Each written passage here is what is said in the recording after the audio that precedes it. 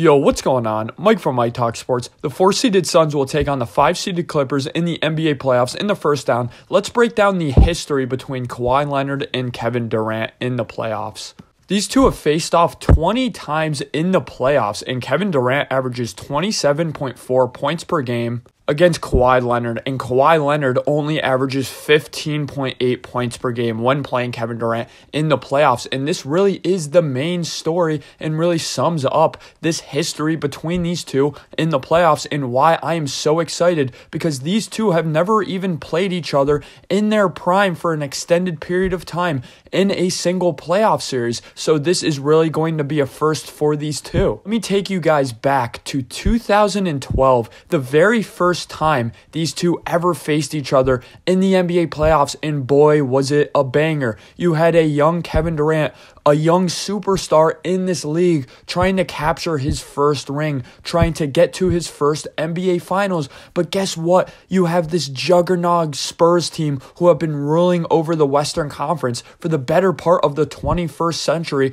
with Gregg Popovich, Tim Duncan, and company. And this team was trying to reload after this core started to get a bit older and they started to lose some playoff series. And part of that move was drafting a young experimental wing, a guy who was really raw offensively, but a great defender. And I am, of course, talking about Kawhi Leonard out of San Diego State. Kawhi Leonard was a very young player at this point in his NBA career and really hadn't developed his offensive game yet. But even by 2012, this one seeded Spurs team, this dominant juggernaut force in the Western Conference Finals, significantly used Kawhi Leonard coming off the bench and even starting in some starting lineups in 2012 as that really dominant wing defender. And that was perfect for them going up against the two seeded Thunder in the 2012 Western Conference Finals. Kawhi Leonard was really the key to this team winning this series because you had a perennial MVP candidate, a young superstar again in Kevin Durant.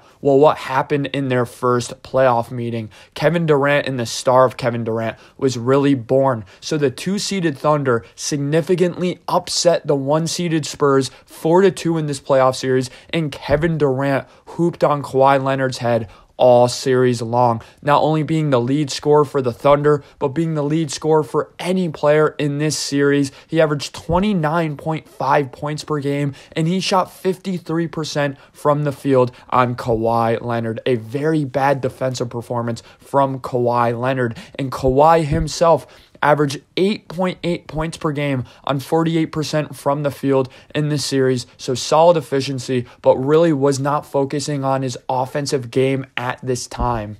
Flash forward to 2017, and Kevin Durant failed to win a championship for the team that drafted him in the Oklahoma City Thunder. So he ended up signing with the Golden State Warriors going into the 2017 season in what is known as one of the most infamous signings in free agency history for any professional sport. The 2017 Warriors were expected to not only run through the regular season, beating every single team convincingly, but roll into the postseason having zero threat of being taken down whatsoever. They were supposed to have no threat to the West whatsoever.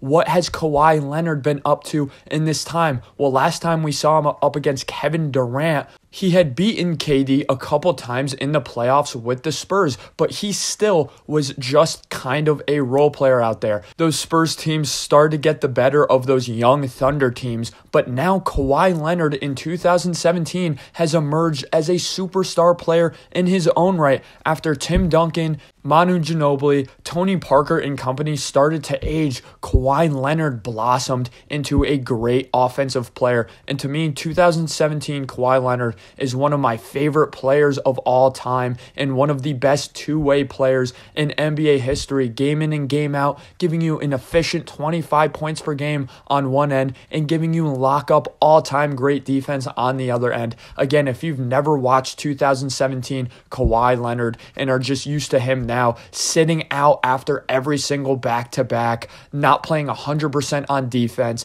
and still playing great offense, but not shooting as much. Man, watch some 2017 Kawhi Leonard. He was absolutely phenomenal this year, and he had the Golden State Warriors and Kevin Durant on the ropes. Like I just alluded to, there was no competition in the West, but maybe there was because there were the 2017 Spurs, a team that was an insane home team that year and won 61 games, which is nothing to scoff at. And guess what? In the 2017 Western Conference Finals. In game one, the Spurs were up 25 points, and Kawhi Leonard was really giving it to Kevin Durant.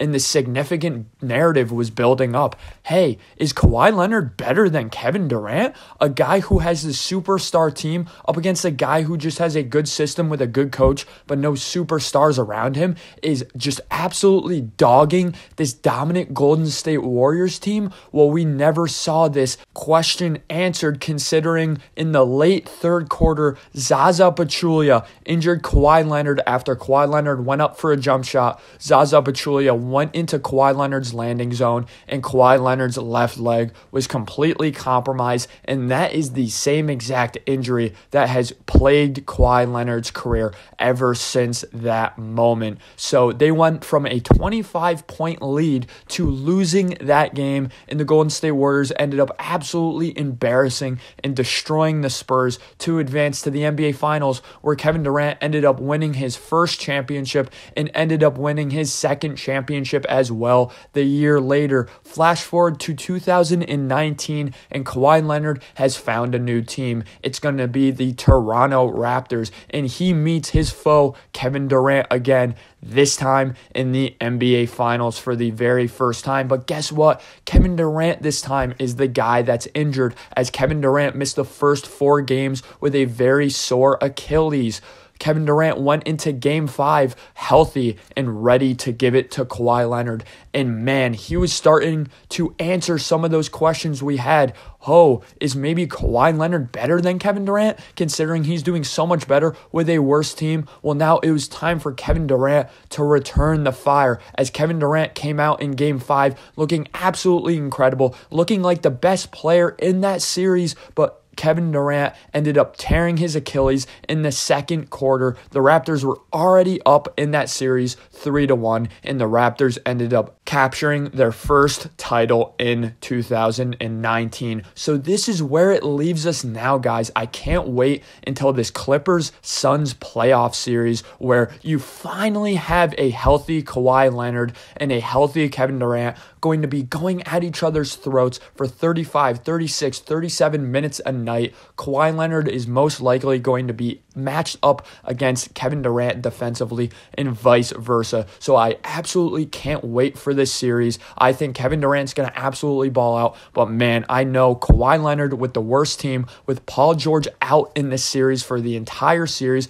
I know Kawhi Leonard is going to be going for that throat and be going for that kill. So I can't wait for the series. I think the Suns are going to win this series pretty convincingly, in my opinion, but man, the Clippers are extremely chippy, and I think they've proved that the last couple of playoff runs. So I can't wait for this narrative. This is a matchup that's a sneaky, forgotten matchup in NBA history. Kawhi Leonard versus Kevin Durant. Can't wait for it to happen. Let me know what you guys think in the comment section below.